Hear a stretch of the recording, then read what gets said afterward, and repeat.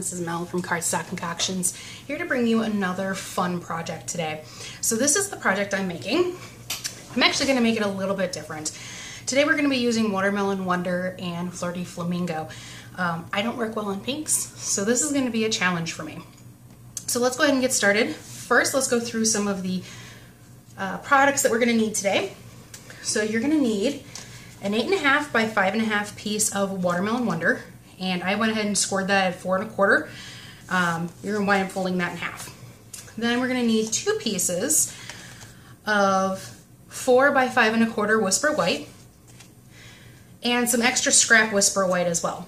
So part of it you need to make just so that you can use your stamp on it and then punch it out with your Petite Petals punch. And then others you're going to need to have it large enough about a 3 by 4 piece of paper, uh, Whisper White, in order to cut out your um, oval from. So if you guys want to know which oval we're using, I'll actually show you.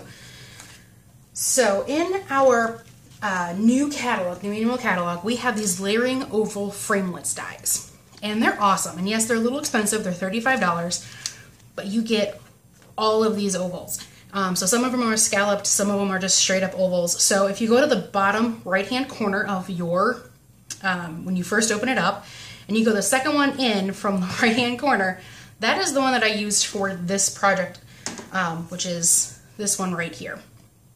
Uh, so I went ahead and used that. I already cut it out for us, saves ourselves a little bit of time here. Um, so that's how I used that. So on top of that, what else we're going to be using today? We are using two stamp sets, the Petite Petals stamp set, and we're going to be using this one here. In my original, I used this one here, but I wanted to make a little bit different. And we're also going to be using Thankful Thoughts. I'm going to be using this Thanks and where'd it go? Um, your generosity is only second to your fabulosity. So I'm going to be using those two today as well. And then we need snail our Petite Petals Punch, a sponge, as I said, Flirty Flamingo and Watermelon Wonder ink, and top it all off, some rhinestones.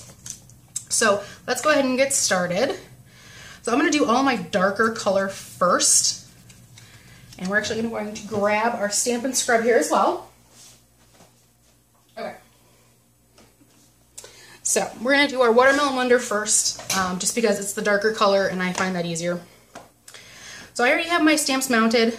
Um, I'm going to be doing all of the sentiment work in the darker, which is Watermelon Wonder. So we're going to go ahead and open this up. Set this off to the side here. Oof. Okay, there we go. So I use my grid paper for absolutely everything. I use it to line it up. Um, I would actually stamp first next time and then cut out your oval, but again, to save some time, I went ahead and I stamped first. Eh, I don't like that. We're going to flip it over. Nobody's going to see it but us.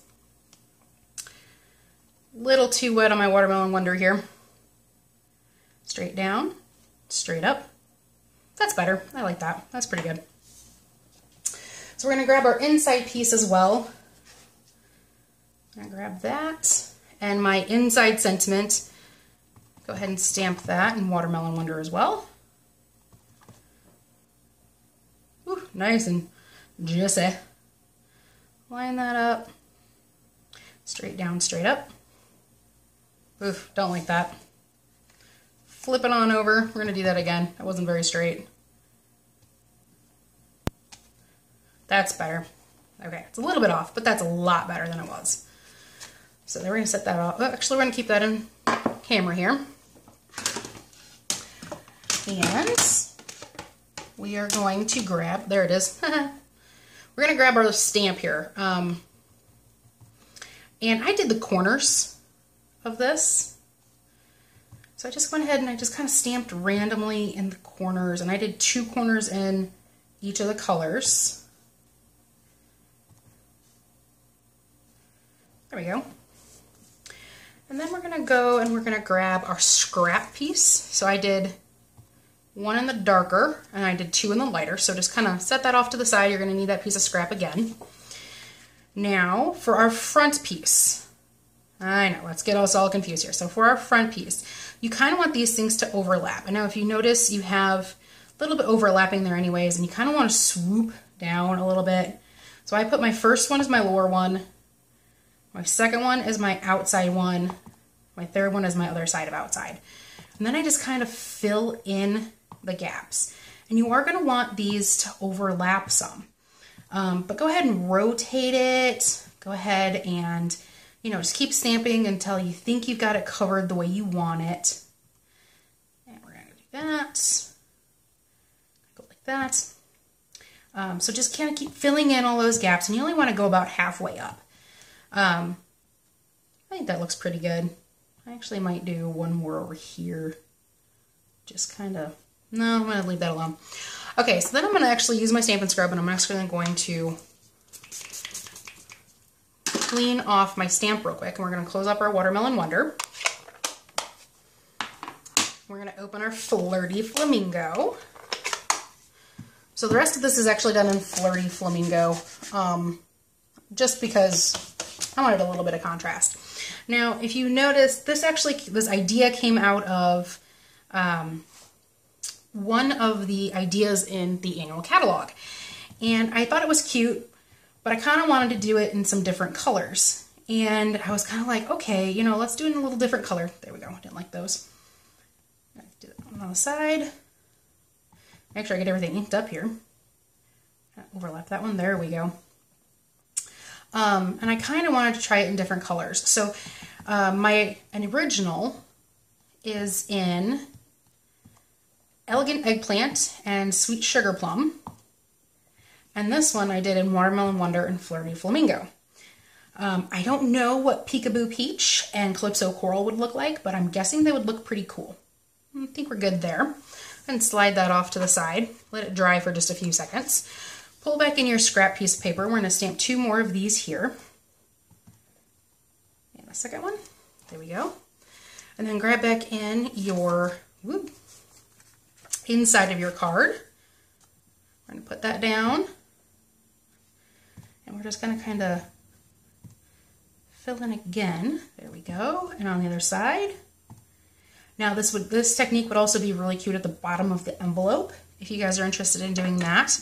I'm actually not going to be putting this in an envelope um, before I give it to somebody, so um, we're going to be good. Do not put away your flirty flamingo.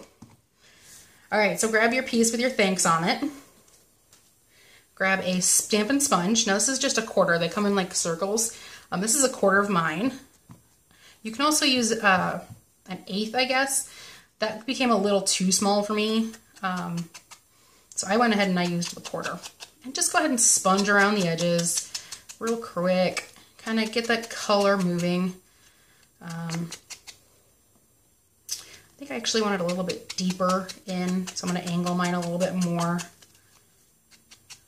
There we go. And now this is just to give it a little bit of definition around it. Um, just to make it a little fun. I thought about layering another piece of Watermelon Wonder underneath it, but then it became a little too chaotic for me. Um, so I, you can try it, by all means, go up one size in the ovals and you have that ability. So we're gonna go ahead and we're gonna pull this out here, punch out our flowers. And let's see if I can get these all lined up. Awesome thing about this, this stamp set, I'm not a big flowery girl. Um, but there's enough that I can do with it that makes me feel like not too girly girly. So that's really nice. So now you're done with your, your uh, punch here. And set that to the side. We're going to start our process of layering it up and completing our card. All right, so score in half, not on some wonky little line that I apparently did. And I apparently scored out four and not four and a quarter. And I don't know why. Hmm. All right, we can fix that though. It's okay, just kind of, there we go. I'm gonna use my bone folder to do this. If I was actually giving this to somebody, I get a new piece of cardstock. There we go. Okay, so now that's the front of my card. We're gonna grab our piece here, a little bit of snail, stick to the front. Go ahead and layer that on the top you're me, you have a really big problems getting everything straight. So if you're a little bit off this one, doesn't really matter so much. Go ahead and grab your inside piece.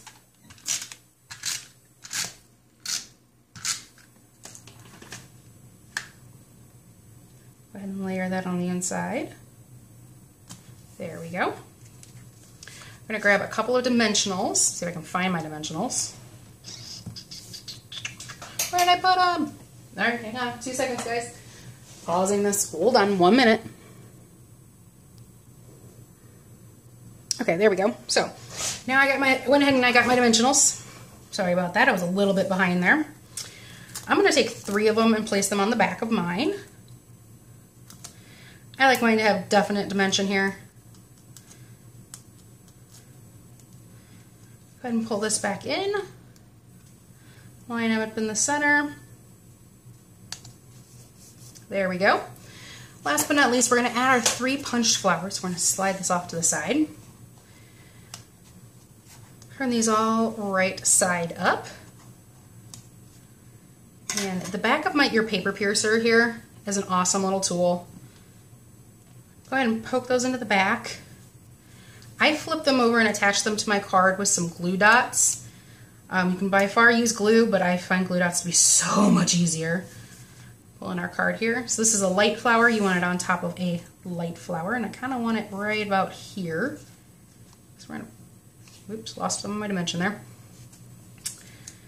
And we're gonna place, this is another light one. I'm gonna do this one right here.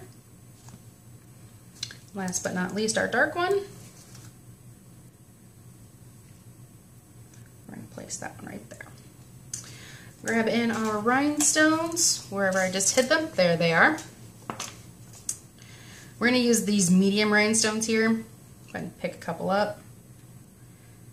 I put six on my original. I'm thinking about putting five on here. So I put one in the middle of each one of the popped up rhinestones. Oops, there we go. And then I'm just going to pick